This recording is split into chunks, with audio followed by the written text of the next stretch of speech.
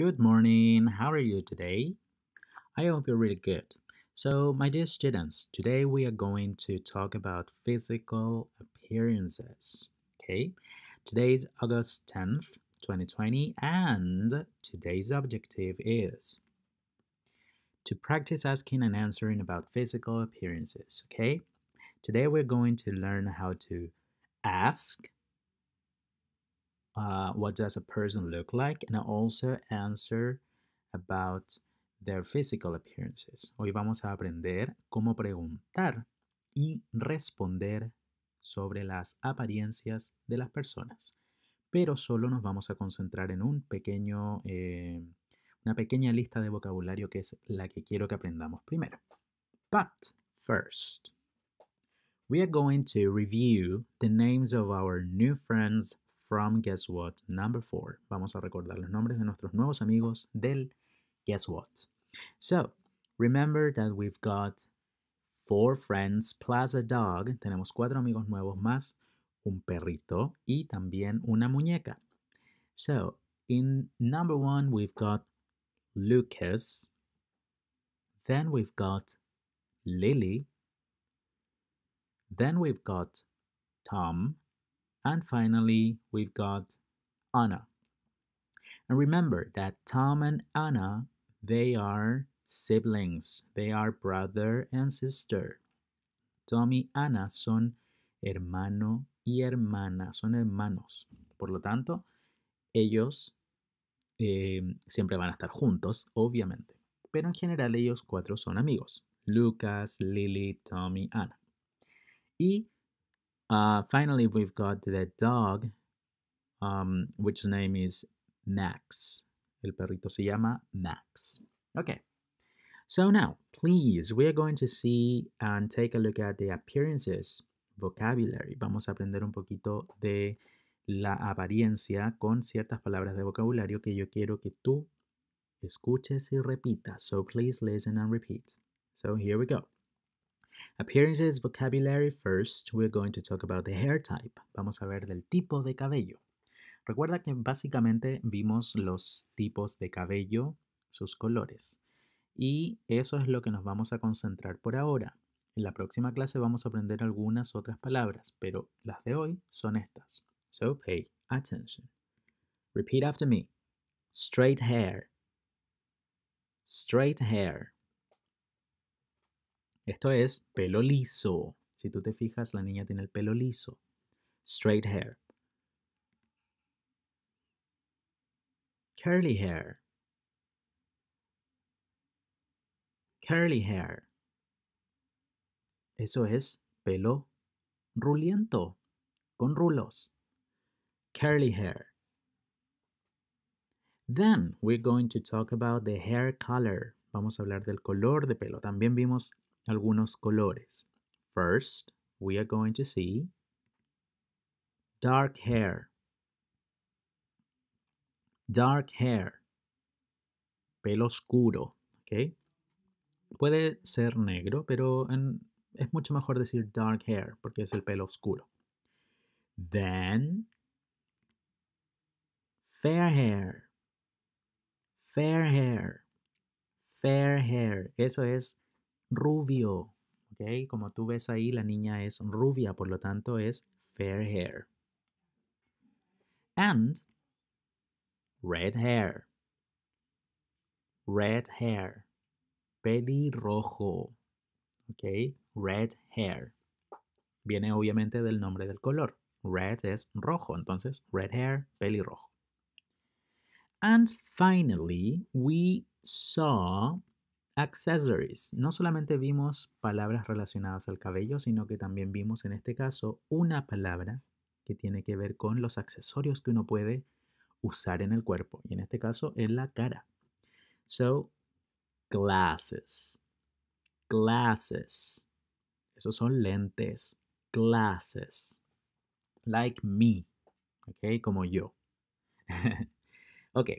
Entonces, una vez que ya vimos el vocabulario, si quieres volver, lo puedes repetir todas las veces que tú necesites. Vamos a ver cómo nosotros preguntamos, cómo yo pregunto, ¿Cómo luce esa persona? ¿Cómo luce esta otra persona? Y la pregunta que hacemos es esta. Pay attention. What does look like? ¿Cómo luce tal persona? Si te fijas, te dejé un espacio. Ese espacio es porque dependiendo de quién yo quiera preguntar, tenemos que colocar una palabra distinta. Por eso te coloqué esa línea. Pero la base de la pregunta es, What does look like? What does look like? Y en español se traduciría algo como ¿cómo luce tal persona? Vamos a verlo por parte para que sea mucho más fácil para ti. Entonces ahí tenemos tres partes de la pregunta. Yo siempre voy a tratar de dividirte las preguntas y las estructuras en tres partes si es posible porque es mucho más fácil. Y en este caso, como tú ves, la primera parte de nuestra pregunta es What does? No te lo voy a decir traducido porque si te lo traduzco literalmente, no va a tener mucho sentido en español. Entonces solamente te lo voy a explicar en qué orden va y cuál es la palabra que debes colocar en ese orden. Después al medio, si tú te fijas, tenemos por ahora tres opciones. La primera dice someone's name. Eso significa que tú ahí podrías colocar el nombre de alguien. Si tú te sabes el nombre de una persona, tú puedes preguntar directamente cómo luce esa persona por su nombre. Y en este caso, ahí lo rellenarías con el nombre de quien tú quieres preguntar. Por ejemplo, si yo quiero preguntar de mi amiga Paola, un ejemplo, yo preguntaría, What does Paola look like? Por ejemplo, yo quisiera preguntar de mi amigo Fred. Yo diría, What does Fred look like? ¿Te fijas? Entonces, con someone's name, en esa parte debería ir el nombre de alguna persona que tú quieres preguntar cómo luce. Pero hay veces que no vamos a saber el nombre de la persona. Y como no vamos a saber el nombre de la persona, yo puedo preguntar por ella o por él. Y tú ya sabes que ella en inglés se dice she. Y él en inglés se dice he. Por lo tanto, si yo quiero preguntar cómo luce ella, yo diría, What does she look like? What does she look like? Y si yo quisiera preguntar por él, por un boy, por un hombre, yo diría, What does he look like? What does he look like? Bien, entonces ahí tenemos tres opciones. Por ahora, ¿por qué te digo por ahora? Porque en algún momento vamos a aprender con un poquito más de detalle, no solamente a decir él o ella o el nombre de alguien, sino que a lo mejor vamos a preguntar por grupos de personas. En este caso, entonces, siempre se va a preguntar con esta misma pregunta. Y lo que está al medio va a cambiar dependiendo de lo que yo quiera preguntar. Puedo poner el nombre de una persona, puedo poner he si es hombre y no sé su nombre, o she si es mujer y tampoco sé su nombre. Pero todas las otras partes de la pregunta, la primera que dice what does y la última que dice look like, no cambian. Y no te olvides que como toda pregunta, question mark at the end. La pregunta siempre tiene que terminar con un signo de interrogación. En el caso de inglés, una vez más te lo digo, solo va el del final. Ok, entonces te tengo acá ejemplos, mira. What does Tom look like? ¿Cómo luce Tom? Porque ahí yo sé su nombre, entonces quiero decir específicamente por Tom. Pero si yo no sé el nombre y, por ejemplo, yo estoy con alguien y le estoy indicando, mira, esa persona, él que está allá, yo diría, What does he look like? ¿Cómo luce él? Y si fuera una niña, yo diría, What does she look like? ¿Te fijas? Esos serían los ejemplos de las palabras y las oraciones que te coloqué antes. Esta es la estructura, estos serían los ejemplos. ¿Ok? Bien, y para responder va a depender mucho de cómo yo pregunté. Pero te voy a poner solo un ejemplo primero. si mi pregunta es la segunda, la que está al medio, fíjate en la pregunta del medio. What does he look like? What does he look like? Yo estoy preguntando por él, ¿cierto? Entonces, esa misma palabra que está en verde, que es he, que significa él, yo la voy a tener que usar en mi respuesta. Por ejemplo, he's got. Y esta va a ser la estructura que yo voy a utilizar para responder las preguntas de la apariencia física. He's got. He's got. Y en este caso significa él tiene. Pero si yo pregunté con she, yo diría, she's got. Ella tiene. Y también, si yo pregunté por el nombre específico de alguien, por ejemplo, mi pregunta de antes era Tom, yo diría, Tom's got. Tom's got. ¿Ok? Entonces, por ejemplo, What does Tom look like? ¿Cómo luce Tom? Tom's got fair hair. Tom tiene el pelo rubio. Y mi otra pregunta, what does he look like? ¿Cómo luce él? He's got fair hair. ¿Te fijas? Él tiene el pelo rubio. Entonces, por eso te digo yo, va a depender mucho de cómo yo pregunté. Esa misma palabra la voy a utilizar para mi respuesta. Y lo que está en rosado el, esa apóstrofe con la S y el got significa tiene. ¿Ok?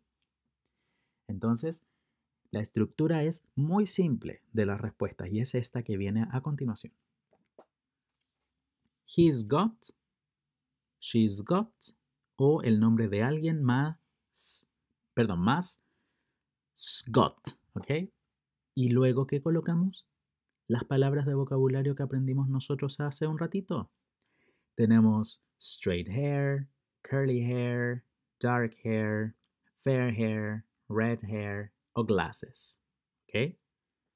Bien, hasta el momento entonces, si tú quieres volver atrás para poder de nuevo escuchar y entender mejor lo que explicamos, puedes hacerlo. Ahora lo que vamos a hacer es una práctica. Pon mucha atención.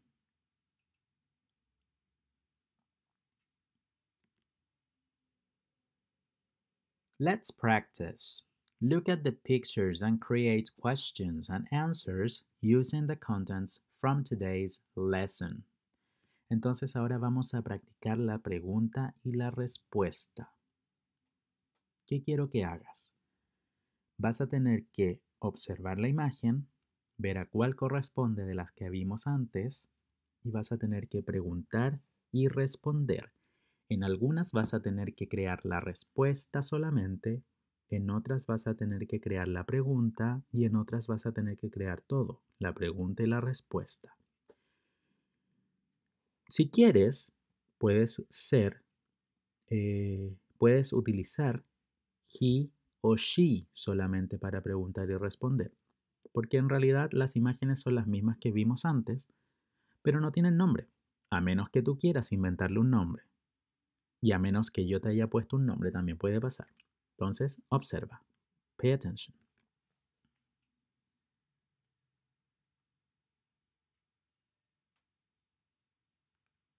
What does she look like? ¿Cómo luce ella? Y te puse la primera parte de la respuesta. Esto porque es para que vayas de a poco haciéndola tú solito. What does she look like? She's got. Y después tienes que colocar la característica de esta niña. En este caso estábamos hablando de los pelos, ¿cierto? Del pelo, del cabello, de cómo era el pelo. Así que pon mucha atención. La siguiente, también te coloqué solo la pregunta, pero esta vez te coloqué un nombre. What does Kendall look like? ¿Cómo luce Kendall? Tienes que responder en la línea que está ahí. Esto lo puedes escribir en tu cuaderno.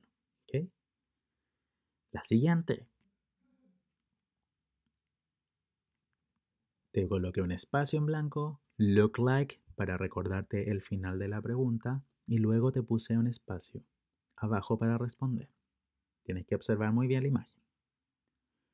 Y las siguientes ya no tienen nada de ayuda, solo tienen los espacios de la pregunta y la respuesta. Recuerda, si tú quieres colocarle un nombre a la niña, puedes hacerlo, si no, solamente le colocas she, ella. Lo mismo con esta. Y finalmente tenemos el boy. Recuerda todas las imágenes de ahora son las mismas del principio. Entonces yo quiero que tú te centres en preguntar y responder con esas características, no con otras que no hayamos visto. Solamente con las que hemos visto hasta el momento. Así que con tu cuaderno vas a responder, vas a escribir la pregunta y la respuesta. Okay? So, finally, we are finishing. Good job. So tomorrow I will check. Mañana revisaré en el video de la clase de mañana. So, see you tomorrow. Bye bye.